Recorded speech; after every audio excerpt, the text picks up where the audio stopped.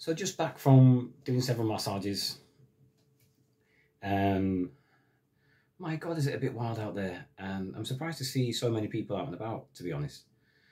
And yet again, you you peeps seem to mess your bodies up in amazing ways. Anyway, Charlie Beach, Big Charlie.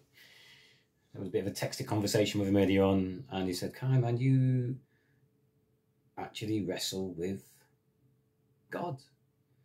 And like, you know what? It's true. I do wrestle with the divine being. Why do I wrestle with the divine being? Because I struggle to accept that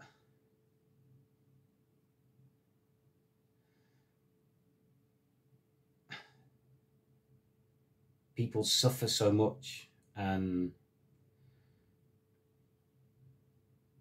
face so much pain. Everything from being taken advantage of to being abused to being mentally tortured to illness to not being paid correctly for their skill set to having to sacrifice themselves for the betterment of others who would never sacrifice themselves for them do you understand? I struggle to understand how such a divine being would allow the death of so many innocents in wars. I struggle, struggle with that. I struggle to understand how the divine being allows poverty and ignorance and selfishness I struggle to understand why the divine being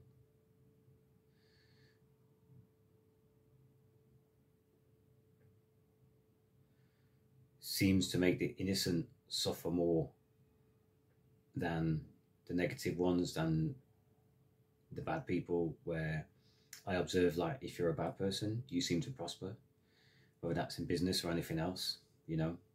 If you're a deviant and a wicked person, you seem to have the best lifestyle if you're a cheater and a robber and a scammer, life is good for you. Yeah, if you're kind of pious person, an honest person, and you, you follow your scriptures, whatever they are, life is hard for you. That's not right. So, yeah, I wrestle with the divine being, God or whatever you wish to call him, I don't care. Regularly because I can't accept why so many people are under so much suffering and so much agony when it would be easy for that said being to just make that stop. I can't accept that such a divine being would allow so much poverty, heartache, pain, war, degradation. I can't accept that. I can't. Uh, it just doesn't sit right in my mind. So yeah, I wrestle with the with the divine being on a regular occasion because I need to understand why. Why was I put through so much mental torture and so much physical torture and abuse that led me on a path of violence that at the same time I was so giving and understanding. And yet I, I lost the the empathy the and all the emotions all that went. And I lost my faith in in God. I lost it. It went. I lost. It's gone. And it's gone because so many people around me have died, have suffered. So many people around me have had to fight battles that they didn't need to fight because the truth and the reality is there were people there that could help them. Now, the essence of humanity or the essence of divinity is to help your fellow man. And yet I see it daily where People just step over people. and they don't want to help and they don't want to give. And an act of kindness now is almost like a miracle. How shameful is that? It's really shameful, right? So an act of kindness now is almost like a miracle. And people have to put it on social media, and people put their acts of kindness on social media. Look, I'm feeding the homeless guy. Look, I'm doing this. Look, I'm doing that. No, that's not an act of kindness. That's an act of ego worship. You're rubbing yourself up. You're polishing yourself. Don't do that. I struggle to understand why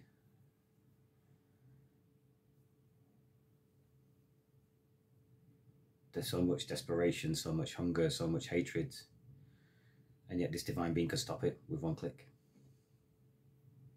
And the theological side of that and the debates of the, the theologians on that are immense, are immense, and they will always boil down to the fact of you need to be stronger in your faith, you need to pray more, you need to do that, you need to do this. Absolute bullshit.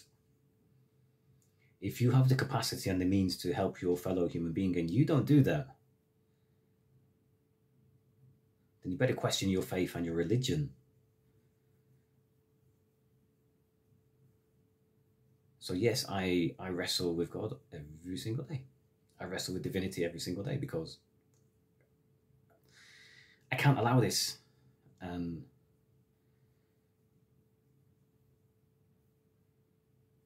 carry so many burdens upon myself and I, I carry so much pain and suffering, but I'm persistently trying to help other people and I struggle because people go, Oh, you need to talk, you need to get it out, and you need to talk. You have no comprehension of what it is. Because when I do start to talk, you won't understand because it's not just me that's talking. It's the pain, it's the suffering, it's the trauma, it's the abuse, it's the agony, it's the witnessing of what I've seen around me, it's the witnessing of what I've gone through myself, it's the reality of refusing to accept that this is what divinity is allowing to happen. I refuse to accept that. And then, then, then people go, oh, it's just, a, you know, the devil. No, man. Did you know? The devil knows when to let a soul go. It knows. The devil knows. Whatever you want to call it, the negativity, the vibration, it knows when to let you go. It knows when the war is over. It knows when to uh, surrender this and give this up. But the reality of of your average human, they don't. People will bleed you dry. People will drain you of everything you have.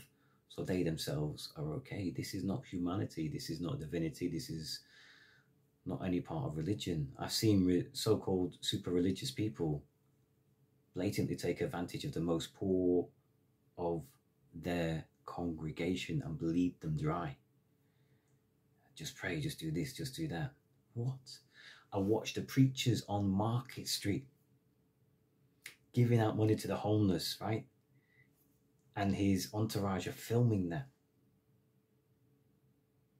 Wow. So people can go, wow, look at that guy. He's so, so kind, so compassionate. You know, his religion, he's, he follows it to the book. Look at him giving, giving as he should be giving. No. No. Just basically no. In the nicest way. So yes, I have regular tap out sessions with the big man from upstairs or the divine being from upstairs because we do not know if it's male or female because in the original scriptures it says neither male or female. It is an energy. And I ask that energy daily, why do you allow people to be abused? Why do you allow unnecessary suffering? Why have you allowed countries to go to war and destroy other nations for no reason? Why? Why? You know? And the other part of me really, really believes that every single nation, regardless of what your religion is or your belief, that if you go to war and you convince those men that God is behind them, you are beyond stupid. Because I can't accept that a, a divine entity would support any form of slaughter in its name. Ever. I can't accept it. So yeah, I'm wrestling every day. I'm not only fighting my own demons, man. I'm squaring off with the big man because I need to understand why you are allowing this to happen. And like I said, everyone will comment, oh, you know, this and that, your faith, this and that, believing that, believing this. Absolute bullshit. Bullshit. You don't find God in the church, mate. You will not find him in the mosque or the synagogue or the Hindu temple or the Buddhist temple. You're not going to find him. I believe he's gone on a very, very long sabbatical because he's had enough of what humanity is. He has turned his back. I believe that divine being has turned his back because he cannot accept what he's seeing. They fail to understand the word, if you like, of not just the Abrahamic religions. Guys, you are very, very young in the reality of life. Okay? Very young. Judaism, Christianity, Islam, you are very young. There are faiths out there that go back millennia, literally. And they're still there and they're still doing their thing. No one religion doesn't have blood on its hands. That's the truth. Not one religion doesn't have blood on its hands. Why? Why? They sent men to war to destroy other people in the name of their God. And yet, the reality of the situation is that everyone's going to go up to the, the pearly gates, water paradise, and go, I've done everything that you asked of me. What the the priest told me, what the monk told me, what the imams told me. I'd done everything that you asked of me. They said, This is what you wanted. And then the echoing, booming voice, or whatever voice, or whatever way, will come and, and present itself to those people and go, I asked none of those things. I asked you to be a good person. I ask you to help your fellow human beings. I ask you to share your wealth if you could. I ask you to help if you could. I ask you to have compassion if you could. I ask you to have unconditional love if you could. But you failed to hear me because I was the homeless person. I was the person that stepped up to you and just needed to talk.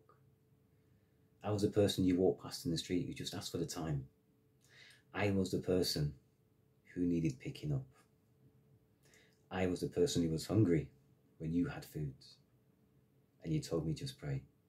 I was the person who stood out the mosque, the church, the temple and said, Brother, can you help me? And you said, Have faith. I was those people, but you neglected to see me. Peace and blessings on you all. Strength and honor. Stay safe, and the down that comes and it goes to engulf you, you're not on your own. If you need to face those demons, I'll fight them with you. Strength and honor.